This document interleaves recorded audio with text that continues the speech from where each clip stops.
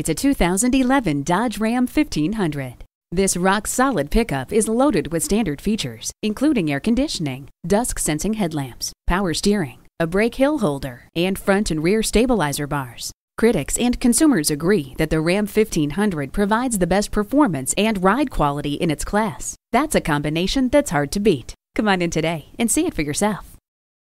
At Sam Pack's Five Star Ford, every vehicle we sell is thoroughly inspected before you buy. Come see us today. We are conveniently located on the Northeast Loop 820 at Rufe Snow Drive in North Richland Hills.